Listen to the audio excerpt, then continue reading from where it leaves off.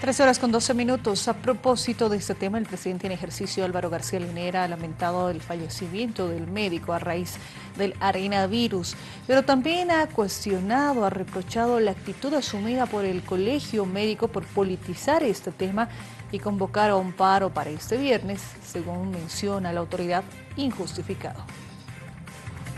Lamentamos, lamentamos la muerte del médico y um, estamos haciendo todos los esfuerzos para salvar la vida del otro médico.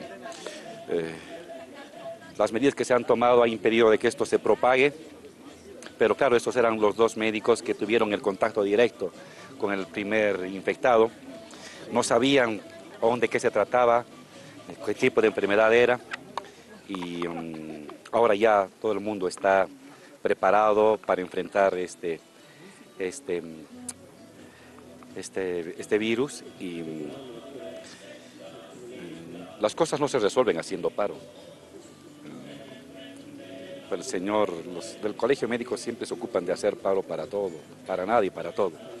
Más bien lo que debería llamarnos la atención es para trabajar más esforzadamente, para ayudar más, para que salvemos la vida del otro médico infectado y que no haya más eh,